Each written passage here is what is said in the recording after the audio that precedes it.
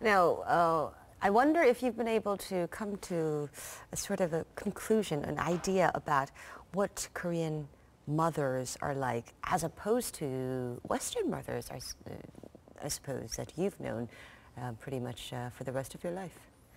Well, it's, you know, we're, we're in the middle of a, of a cultural change th- throughout the world. So I know that, that I mean, I, I, think that, that, that Korean mothers love their children, they're protective of their children.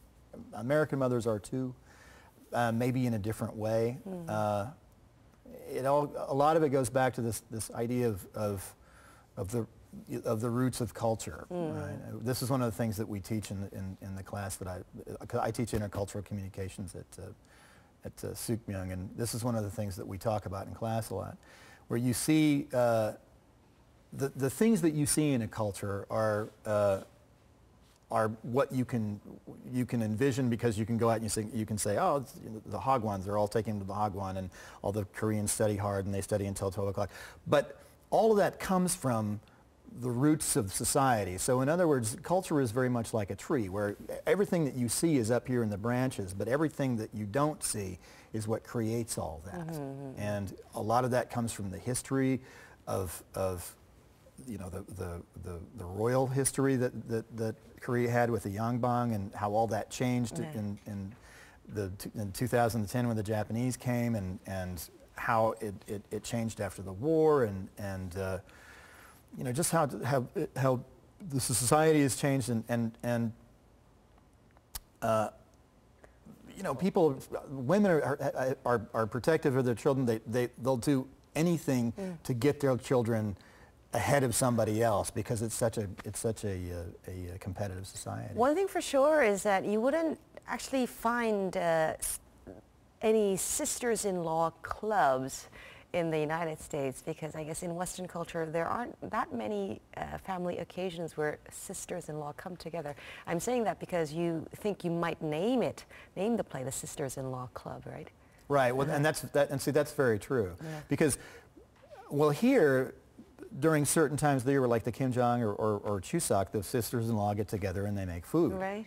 And uh, uh, there aren't occasions like that in Western not, culture. Not really. Not really. I mean, maybe at a funeral or something, but right. even then, it's, it wouldn't be where it would just be the women that would be getting together to do this. I mean, the women are expected to, to, to do something like this. So. Well, I believe you're also working on uh, some other productions, uh, some other Korean productions. You're actually working on translating them and uh, introducing them to other markets abroad?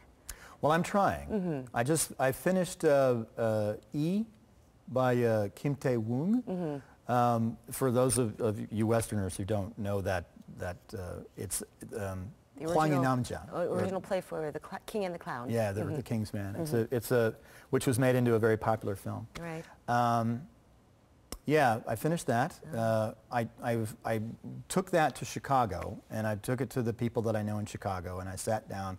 I took it to about six different theaters, and I sat down in these meetings, and I, and I took the script, and I said, I've got this script, and I came all the way from Korea to give you this script. Mm-hmm. You have to read, read it. it. It's a classic. And it is. It's a, it's a classic in, in, in world drama, and, uh-huh. and, and somebody has got to do it right. because it's, it's, a, uh, it's, it's a fantastic piece. You're also working on a musical. Yes, I'm translating, translating uh, uh, Jang Yu-jang's, Chung Yu-jang's uh, uh, Oh While You Were Sleeping. Right, right. Oh, well.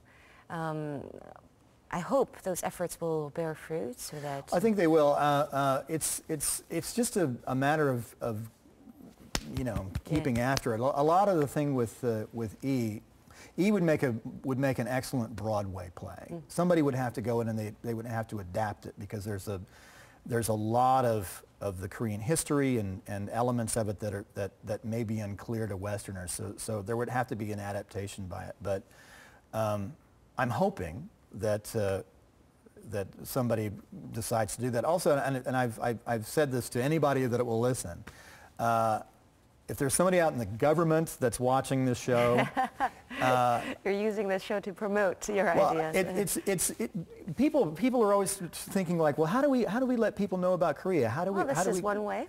Yeah, and I, and I and I think that that if if if there was a Korean play that was on Broadway, especially something that's that's such an excellent piece of work that you know, that would be something that, that, that would generate interest without going the normal way of spending all your money on CNN. Well, I hope there are people out there listening and paying attention to what you're saying Pay right attention. now.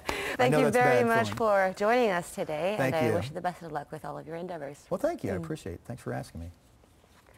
Now, Will Kern says he's also thinking about uh, writing another play, and this one's going to be a crime story.